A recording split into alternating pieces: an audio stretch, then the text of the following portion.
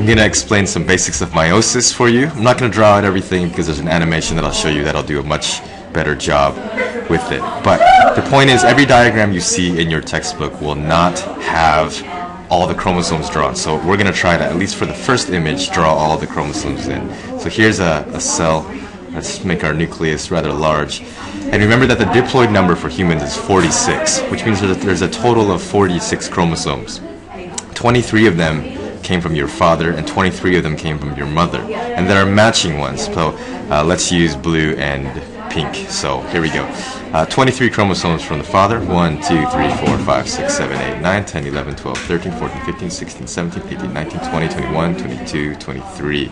And then we also need 23 chromosomes from the mother. Now these are just randomly dispersed everywhere. Okay, 1, 2, 3, 4, 5, 6, 7, 8, 9, 10, 11, 12, 13, 14, 15, 16, 17, 18, 19, 20, 21, 22, 23. Now, if you count the number of strands right now, the total number is 46 chromosomes, and that is the diploid number. In order to produce sperm cells and egg cells, we have to somehow divide this number in half. Here's the most confusing thing for students is that sometime during interphase, each of these chromosomes is going to become replicated to turn into a pair of sister chromatids. But that does not mean we're increasing the number of chromosomes. We are simply increasing the total strands of chromatids, if you will. So uh, what would that look like? Well, each one of these will turn into something like this. But these are still, I still count this molecule has one chromosome. That's not two chromosomes. That's one chromosome consisting of two sister chromatids. So I'm going to go ahead and do this to every one of these right here. Oh, is that one? I hope that's one. Anyways, we should now have still uh, 23 chromosomes from the father, each one consisting of a pair of sister chromatids. And the same is going to happen for the mother's. Uh-oh.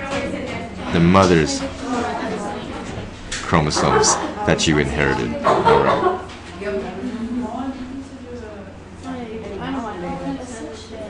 All right, look at that mess.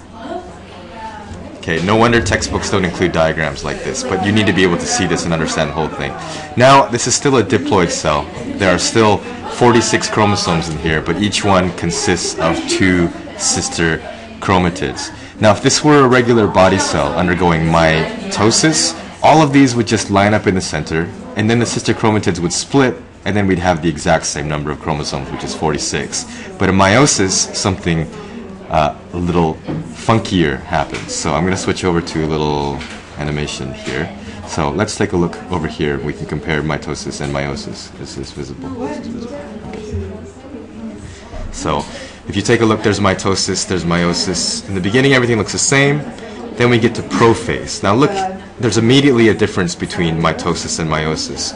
Uh, prophase 1, already, look at this. It makes sense the homologous chromosomes. In other words, each one of these, the 23 from your father, are going to uh, match up somehow with 23 from your mother. So there's a homologous chromosome, and they're, they're kind of linked up by size. So for example, I could say, which is the homologous chromosome to this one from the dad? Well, it's probably not going to be this one because it's too big. But anyways, if I drew this more carefully, so I could say maybe this is the homologous chromosome.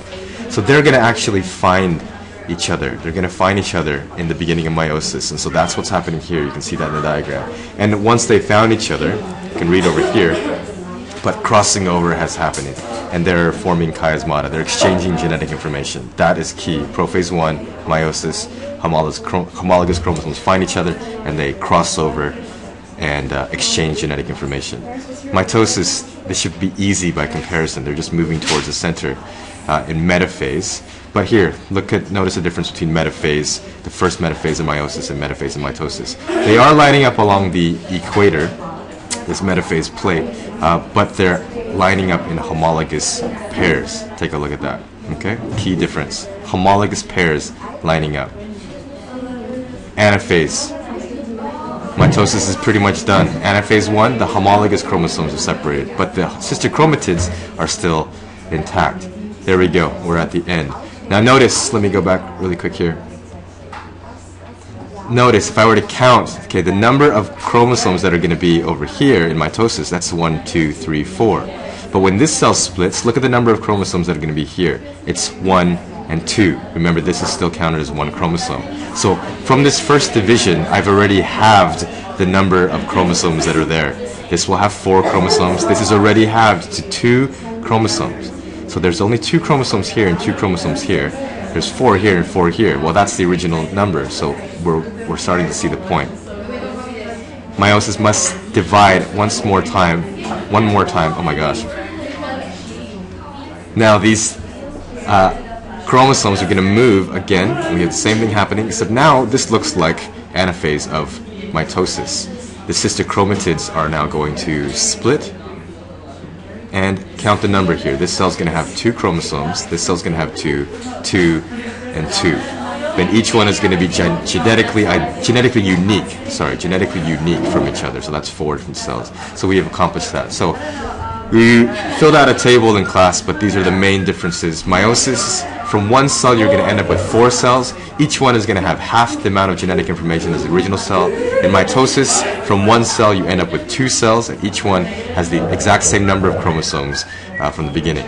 So once again, the only thing that really makes this confusing for students is understanding that this, as a chromosome, is still called a chromosome when it's replicated like this. Okay? So that is still one chromosome.